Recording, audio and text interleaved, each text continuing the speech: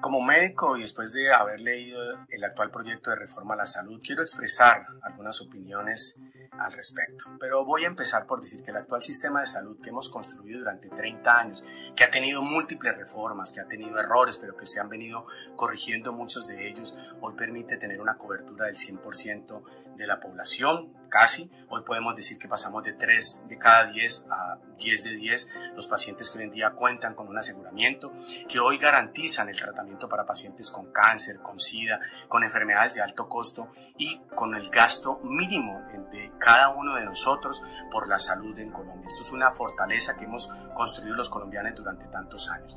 ¿Que hay que reformar el sistema? Por supuesto que hay que reformarlo. ¿Que hay que fortalecerlo? Sí, hay que llegar a esos sitios más lejanos, hay que eh, mejorar la atención primaria, la prevención y la promoción en la salud que tienen en este... Eh, proyecto de ley que están concebidos allí que me parecen importantes, que hay que mejorar las condiciones de los médicos, de las enfermeras, las condiciones laborales, garantía y estabilidad a los trabajadores de la salud, que estoy de acuerdo, pero hay un error craso acá, hay un retroceso que nos va a costar y nos puede costar muchísimo a los colombianos, y es dejar en manos del Estado 100% los recursos, la administración de los recursos de la salud. Y en manos del Estado me refiero en manos de los alcaldes, en manos de los gobernadores, en manos de personas que tienen el poder político con la capacidad de comprar a los representantes ante estos consejos, a los representantes que finalmente tomarán las decisiones, que podrán elegir y poner en unos puestos de bolsillo a esas personas que van a contratar los medicamentos que le van a entregar a usted que van a decir con quién van a contratar, que van a decir cuándo le van a pagar. Yo creo que devolvernos 30 años, retroceder y dejar el 100% de los recursos de la salud en manos de políticos, porque esta es la verdad, en manos de los políticos vamos a dejar los recursos de la salud, creo que es un gran error que va a cometer Colombia. Yo creo que tendremos que seguir hablando, que tendremos que seguir discutiendo esto durante lo que viene. Creo que hay un error, es una ley estatutaria, no es una ley ordinaria, por lo tanto creo que hay un vicio inicial en la presentación de este proyecto de ley que tendría que iniciar por la comisión primera y no por la séptima y eh, precisamente Bueno, yo creo que eh, debo comenzar por decir que estoy aterrado porque nos habían anunciado la reforma de la salud.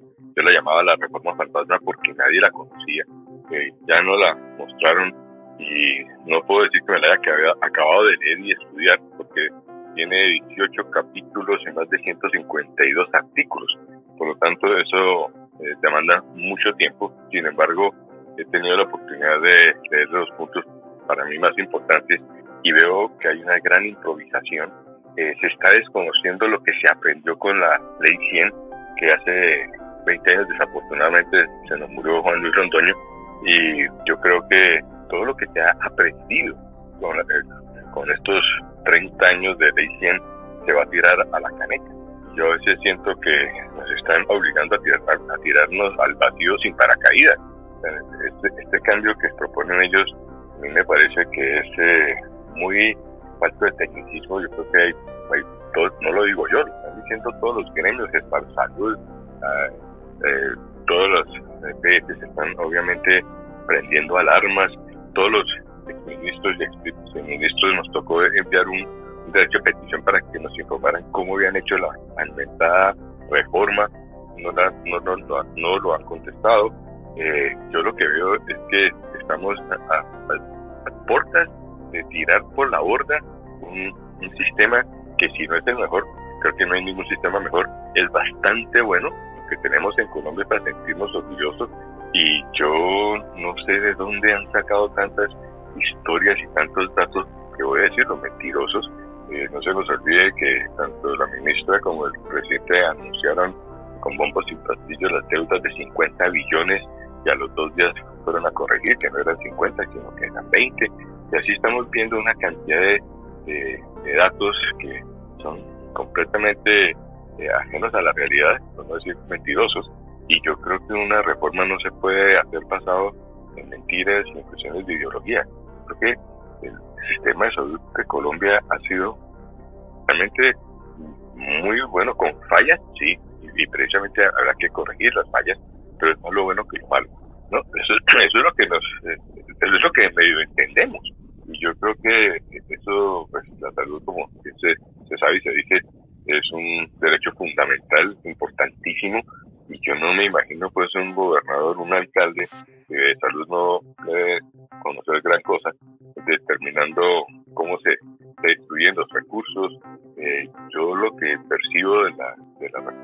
la, reforma, una gran improvisación, Fernando, mucha improvisación y, y desconocimiento de escuchar a los que saben un poco más de los que hicieron la reforma.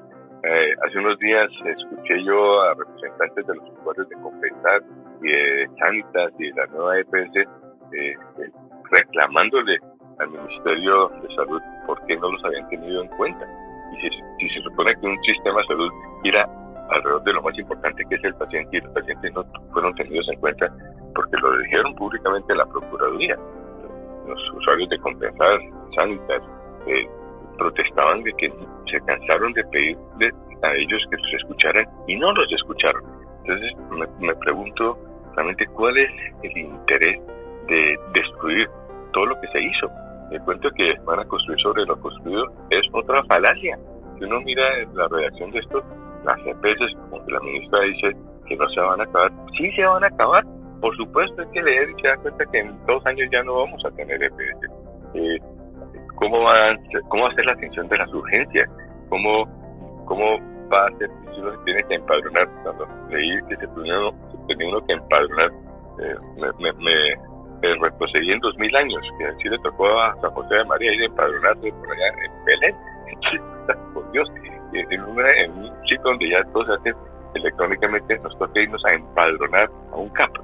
Y después de ese empadronamiento, pues, país saber si uno tiene que moverse a, a otra ciudad o está de vacaciones en otro sitio y algo le pasa, ¿cómo se va a coordinar eso? ¿Quién lo va a atender?